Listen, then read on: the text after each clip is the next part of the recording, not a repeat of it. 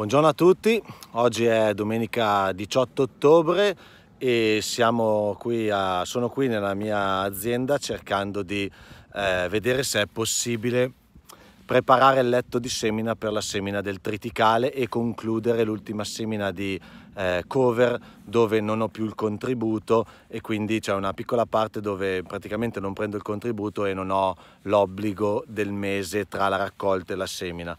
Volevo fare inoltre una, mm, un esperimento su delle cover leggermente diverse ma che eh, seguiranno in un video ad hoc, pertanto adesso non vi devo parlare di questo, quello di cui vi voglio parlare oggi è il discorso della, dell'erpicatura. Quest'anno, il 2020, è stata un'annata veramente particolare, non ci siamo fatti mancare assolutamente niente, in termini di problemi intendo avevo incominciato ad accarezzare l'idea di seminare eh, le cover e poi di seguito il triticale, se non che cos'è successo? È successo che eh, vado a prendere eh, da mio fratello, eh, visto che gli attrezzi li abbiamo ancora insieme nonostante la divisione, il, il MAG che vedete nelle immagini in sovraimpressione, il MAG è l'attrezzo che conoscete bene perché è quello con cui faccio la minima lavorazione e eh, faccio la preparazione del letto di semina sia del mais che del triticale che di tutto e, eh, e niente, ci sono, rotti, rotti dei cuscinetti, ci sono delle problematiche, di conseguenza lo porto a far sistemare. E dico vabbè niente, eh, abbiamo perso una giornata, vado a prendere il Karat della Lenken Cosa succede? Arrivo qua col carro della Lenche, non faccio tempo a metterlo nel campo, si rompe il timone e di conseguenza mi è caduto per terra. Fortunatamente non è successo su strada perché sennò veniva fuori un disastro e altro che agricoltura innovativa mi leggevate sulla, sulla cronaca del Corriere della Sera o dei giornali quantomeno locali. Eh, quindi due erpici da minima lavorazione, due erpici rotti il Karat della Lenken abbiamo ordinato i pezzi la settimana scorsa e non sono ancora arrivati.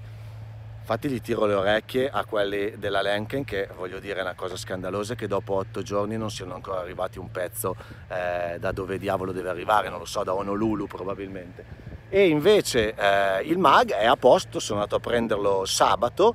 Però cosa è successo? È successo che giovedì scorso eh, sono venuti 35 mm avrei già finito io di, di, seminare perché da giovedì a giovedì in otto giorni avrei eh, già fatto le, le, le, eh, le 70, 65, 70 ettari che dovevo fare. E purtroppo invece sono qua ancora oggi a provare a vedere se da giovedì a domenica la terra è asciugata abbastanza da poterla lavorare, dargli la prima passata. Venerdì tra cinque giorni le previsioni danno ancora acqua e vediamo che cosa succede. Per il momento la risposta se si può o no andare è ancora sub iudice, è ancora in divenire, non l'abbiamo ancora capito. In questo momento stiamo facendo la prima passata senza le ancore per affiorare un po' il terreno e farla sbiancare, come si suol dire, fargli prendere un giorno di eh, vento e sole sperando che eh, migliori la situazione per poi dare eventualmente la seconda passata oppure come vedete alle mie spalle probabilmente si può anche seminare senza, seconda, senza dare la seconda passata. Però siamo sempre lì a dire in che campo cominciamo quel campo lì è un po' più bagnato quello è un po' meno bagnato siamo, siamo al limite ecco. La terra mm, non, adesso sembra che venga bene dalle immagini che vedete alle mie spalle in realtà non è perfetta sicuramente non è in tempera non è perfetta, spero che con, ripeto, un giorno di sole e, e di vento, che c'è su un po' d'arietta, possa, possa migliorare, altrimenti andare a venerdì sicuramente non riusciremo a fare quello che dobbiamo fare. E a quel punto sta lì anche a capire, valutare cosa faccio, la muovo per poi dopo fargli prendere l'acqua e poi dopo veramente bagnarla completamente perché finché la terra è chiusa e ci piove su è un problema se tu la vai a arpicare e poi ci piove su, lì sono veramente dolori e cavoli. Quindi francamente adesso vedo dalle manovre che sta facendo il mio dipendente nel campo, non lo vedo proprio andare via completamente pulito. Adesso vado sul trattore e cerco di capire se riusciremo o, no, o meno a fare questa cosa qua. Cosa vi dico sempre? Eh, che il nostro lavoro è fatto così, quando non c'è il tempo che ci si mette, ci si mette la meccanica a darci una mano, tra virgolette, a farci, a farci venire quei dubbi, a farci venire quelle sfide che altrimenti sarebbe troppo simpatico e bello riuscire a vincere in maniera normale. Tu fai, puoi avere anche eh, il doppio attrezzo, puoi avere due erpici per eh, fare le cose e poi dopo alla fine nel momento in cui li usi eh, va a finire che per coincidenza può succedere che si rompano anche entrambi. Coincidenza o meno, eh, anche, anche noi dobbiamo recitare un po' il mea culpa perché prima di mettere via gli attrezzi si potrebbe intuire che ci sono delle problematiche.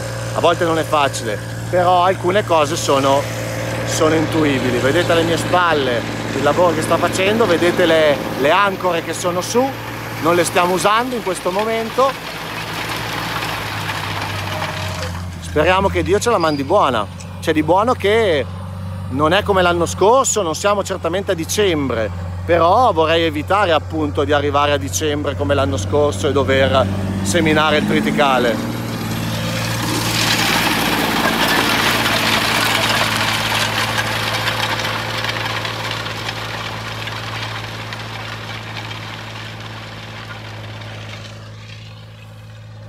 Ma vista così non sembra neanche il diavolo. Voi che ne dite? Voi avete già seminato? State per farlo? Siete stati più veloci, più svegli di me? Non lo so, raccontatemi cosa succede nella vostra azienda. Ciao a tutti e buona domenica.